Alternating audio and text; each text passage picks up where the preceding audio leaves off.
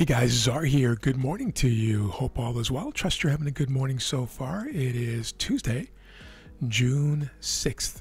This is the NASDAQ we're about to open here at uh, 928, two minutes to the open. Here are the three sisters. NASDAQ, S&P, and Dow as usual. VWAP, volume weighted average price, two and a half standard deviations. That's a 9 and 21 EMA. I will be very patient here on the open, as always, only looking for optimal setups. Using the three sisters as keys to synchronicity, divergence, relative strength, relative weakness, all those good things, alignment, misalignment, and so on and so forth. I will cut out dead air, sideways grinding action, non-teaching moments to keep this video nice and tight as always. We'll be waiting for this one minute open range to form on all three sisters and then uh, we will take it from there. There's the first candle we just opened here on New York. Been a fairly quiet overnight for the indices at the very least. Driving down on the Dow a little bit here, although we're still in the first minute for the next 15 seconds.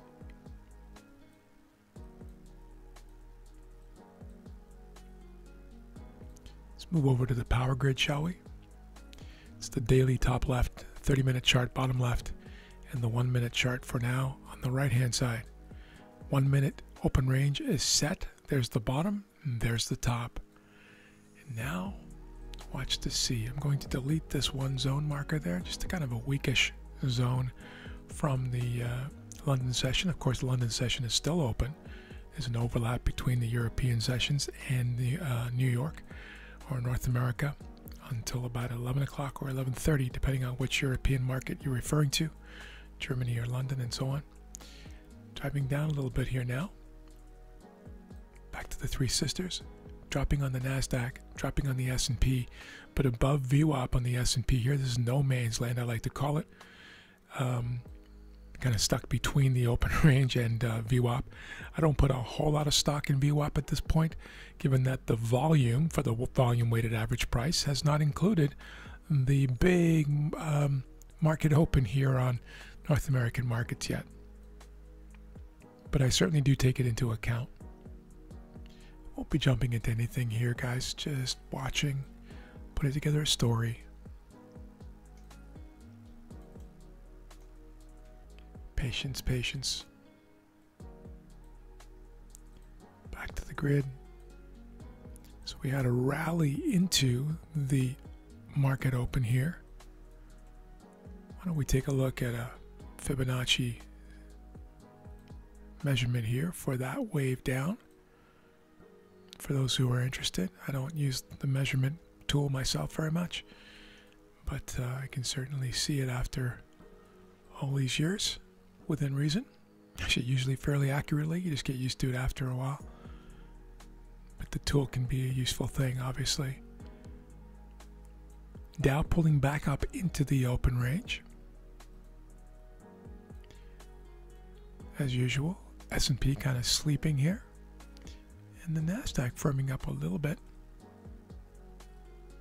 But nothing to do.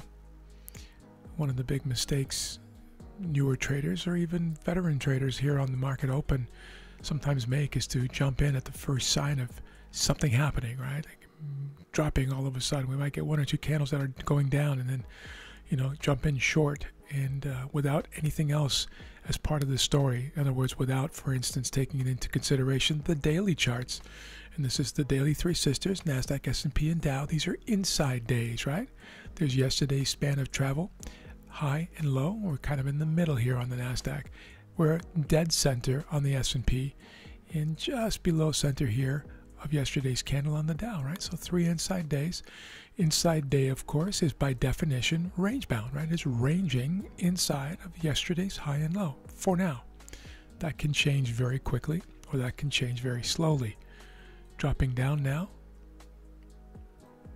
The NASDAQ. I'm not going to do anything here.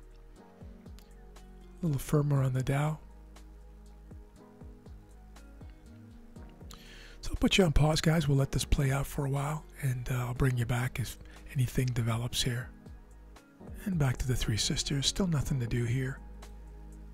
We had drop down here, as you can see, rejecting from VWAP on the Nasdaq, something similar on the S&P, and above open range and VWAP and the EMAs here on the Dow. So Dow a little stronger than the other two.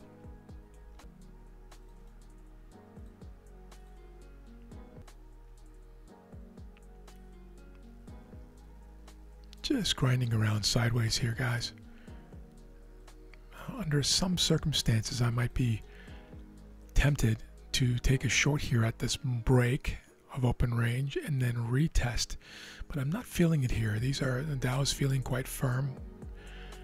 The uh, S&P is feeling firmish to neutral, wrapped around EMAs going sideways. Very much a grind here, but um,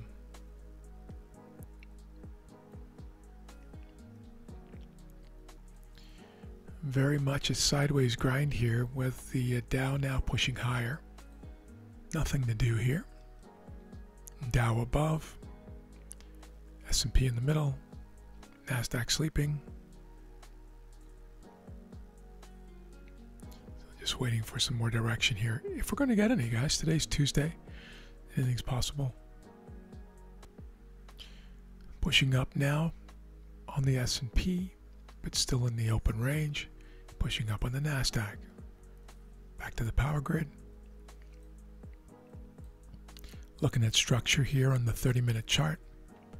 You'll see there's not a whole lot of room to go here before tagging the zone from Asia. So, not an incredibly strong zone. Then there is a very important zone right above that. When I say right above, I mean about 36 points or so, 33 points above. And so that's not the biggest range to play with in there, but it's uh, it's to be considered. This is not the cleanest configuration in my books. Again, we have an inside day on the daily, range bound by definition. We have overhead resistance in through here, here, here, and then, of course, the big one over here. This one was formed, of course, in the pre market and on the open of New York yesterday. So we're back with the same participants playing again. All right, guys, it's 9:52 and there's news coming in 8 minutes.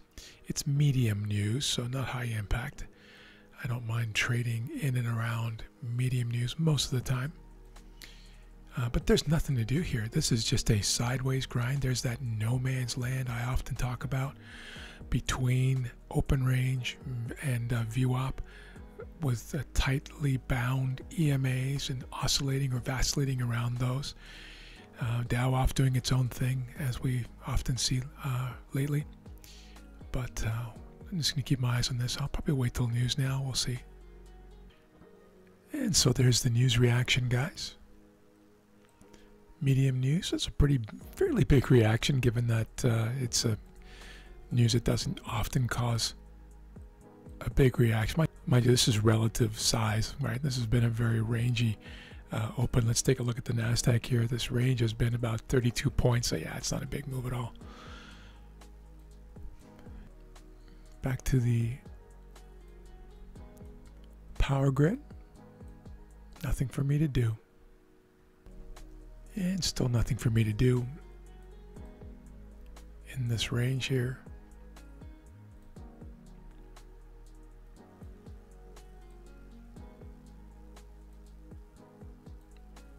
Three Sisters, back into the open range for the Nasdaq, eh, just above on the S&P. Let's take a look at the S&P power grid, shall we, for structure. Nothing of interest here. We're just kind of ranging about. We got this mess over here from Asia, just waking about in an extended move. I certainly wouldn't be taking longs in through here, even though we're above the open range. It's just not enough for me, and we still have this inside candle with a bearish body on the daily. So this is very lackluster price action for me. It's 1019 guys. The grind continues. Dow remaining in a sequential wave uptrend, really not supporting anything here on the um, other two sisters.